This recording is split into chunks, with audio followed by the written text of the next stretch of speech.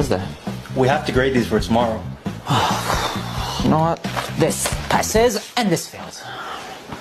Dude, that's genius! We save so much time! I know, right? Nah, maybe we should use another method. What do you suggest? Hmm. Fail. Next. Fail. Next.